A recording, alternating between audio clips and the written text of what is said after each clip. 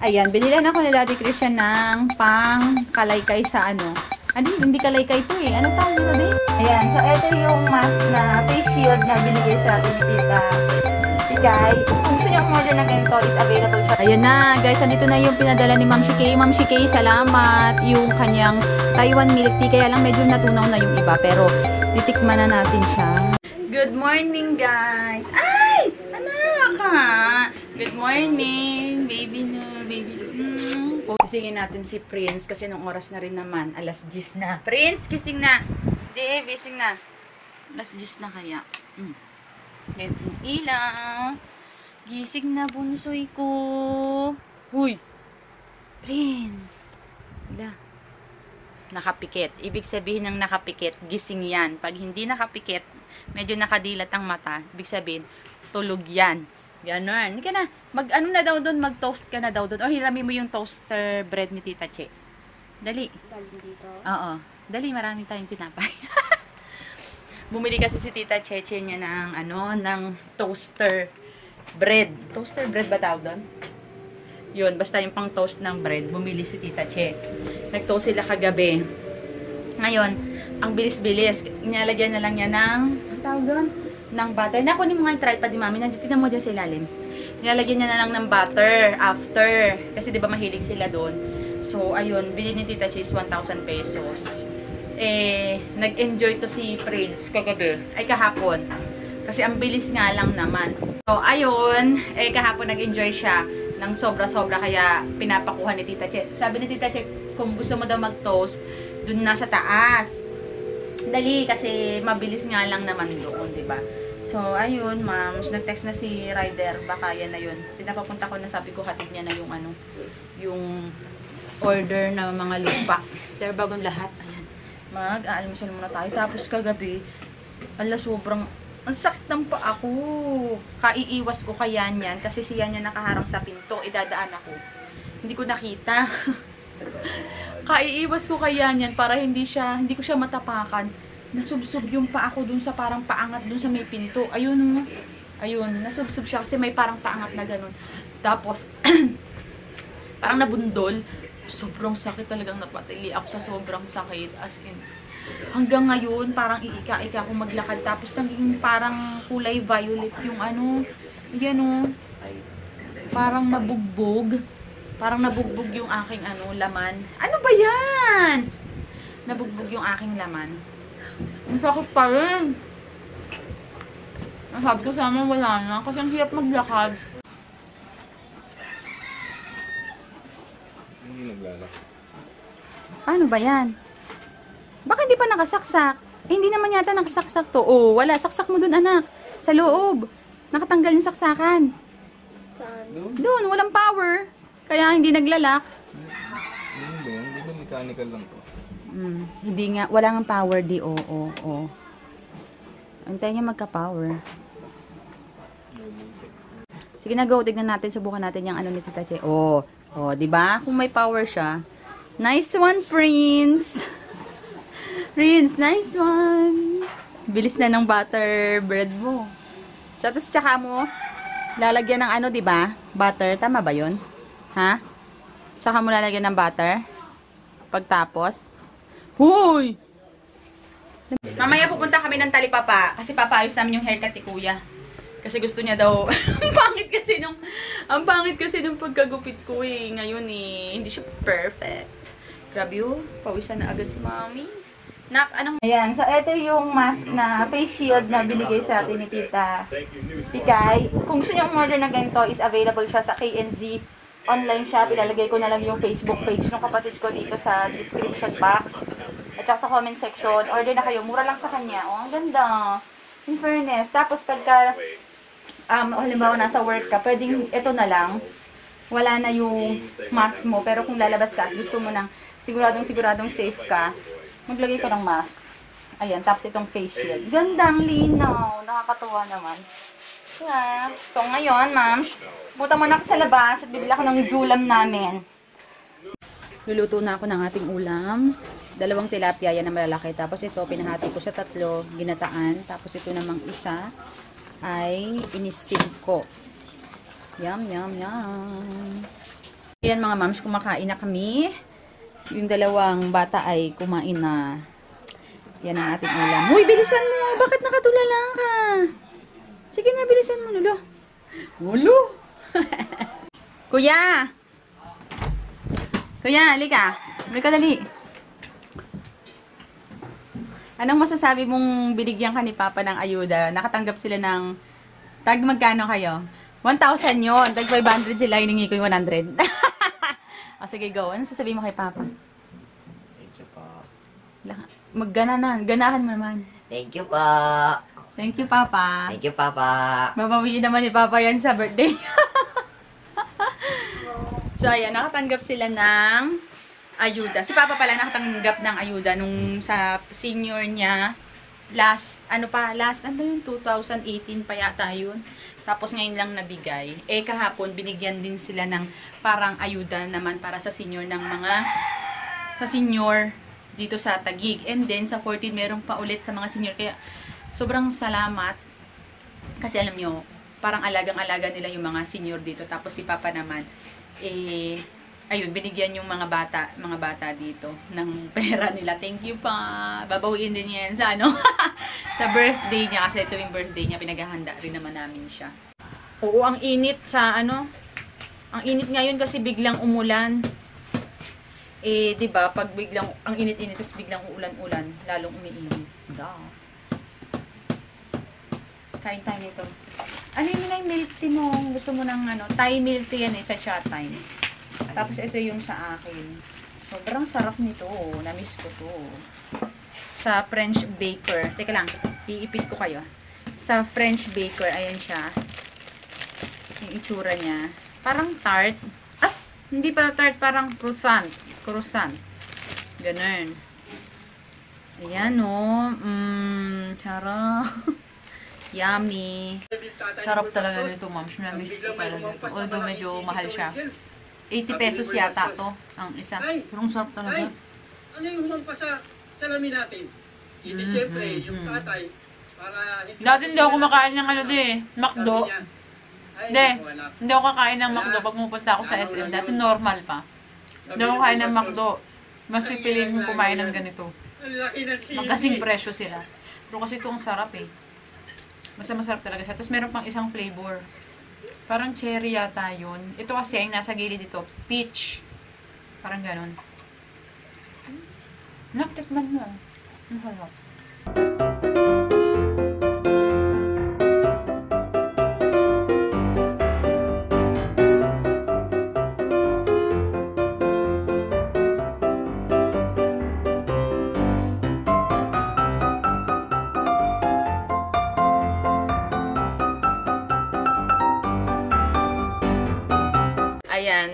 Mga mamshi. On. Ayun na nga, nag-live ako. Ganda ko nakapag-show. Yan, yan, no. Kain muna tayo. Laki ng tinapay mo. Hindi ako nakapag, ano, kahapon, nakapagpaalam ng maayos. Pasensya na kayo, ha? Kasi talagang alam nyo ba, nag-iba yung pakiramdam ko as in sumama yung pakiramdam. Basta nag-iba yung pakiramdam ko. Feeling ko matutumba ako, feeling ko mahihimatay ako. Basta nag... Iba, iba talaga, hindi ko ma-explain. Parang anytime pwede na akong mag-collapse. Yun yung naramdaman ko. Bigla na lang. Kaya sabi ko, mag-end na ako ng, ano, ng, ng live. Gusto ko, alam niyo ba, natakot talaga ako. Balisa ako kahapon, kagabi, hindi ako makatulog, hindi ako maka, mapakali kasi pagkatapos nun, tinawag ko si Daddy Christian yung pinapunta ko sa loob, sabi niya sa akin, kasi lumabas ako, sabi ko, nag-iiba yung pakiramdam ko, tapos umupo ako, and then sumandal ako. Tapos sabi niya, wag dito sa loob, mainit dito. Ay, sa labas, mainit dito. Tapos pinapasok niya ako sa loob. Pinapasok ko rin siya. Sabi ko, dito ka muna. Baka mamaya in case na, alam niyo na, mahimatay ako or what. At least may nakakita sa akin kasi natakot ako bigla. Isa pa dun sa ah, inaalala ko, meron kasi dito sa amin namatay, dalawa. Yung isa, akala nila, um, kumakain lang, kasi nakatitig lang sa pagkain, yung pala, patay na. Tapos yung isa naman, bigla na lang natumba, ayun, tapos namatay. Kaya parang nakadagdag yun sa, ano ko kahapon.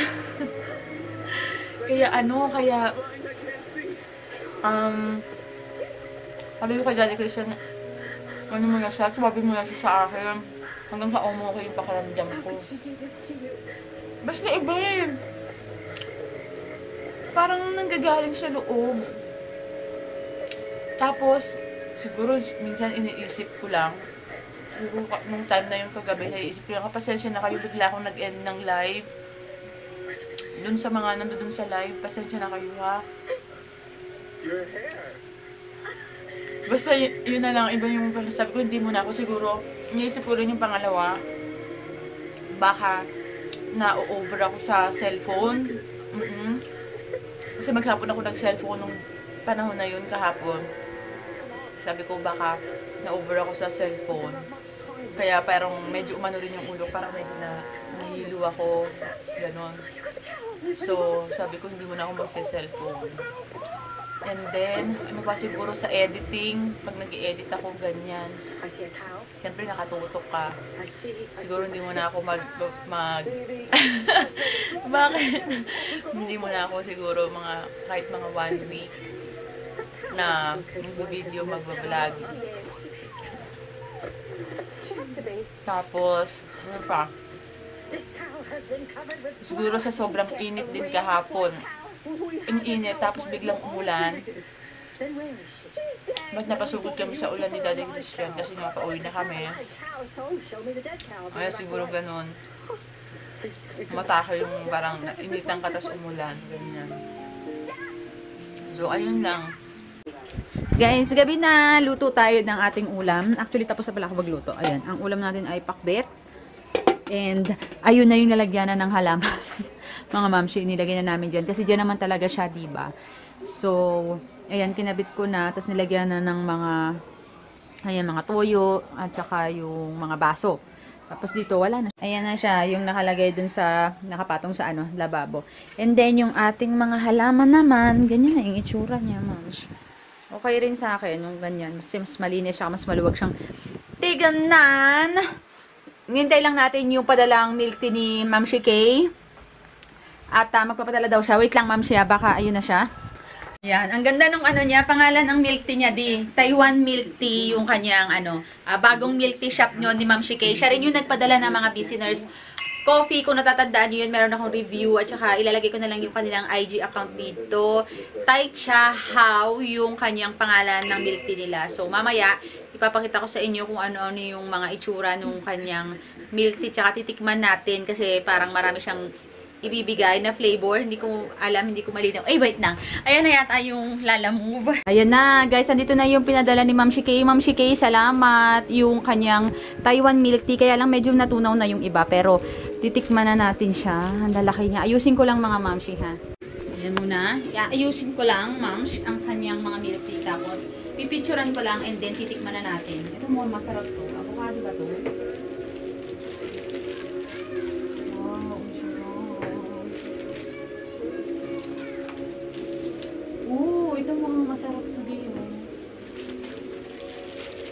Kanyang bote na sinasabi sa akin. Starbucks naman yan, iba naman yan, ma'am. Nice.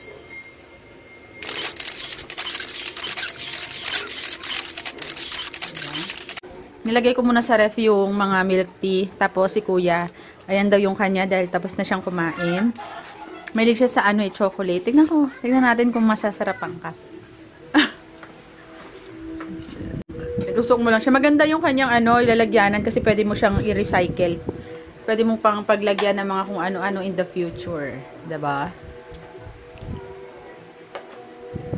Prince, bilisan mo na din dyan. Meron dun para mga may fruits eh. Bagay yun sa'yo. Haluin mo muna. Ay, hindi. Sige, sige. Go, go. Mm. Tikman mo. Mm. Kumusta? Masarap? Oo naman. Nasarapan. Ito may mga fruits fruits. Ito na lang yung kay Prince kasi mahilig yun sa fruits eh. Feeling ko ano to. Ito may parang may apple siya. Tapos may mga nata. Tapos yung sa akin, ito. Yan, gusto ko yan. Ayan, ma'am, tikman natin yung milk tea ng Tahaw Xiao.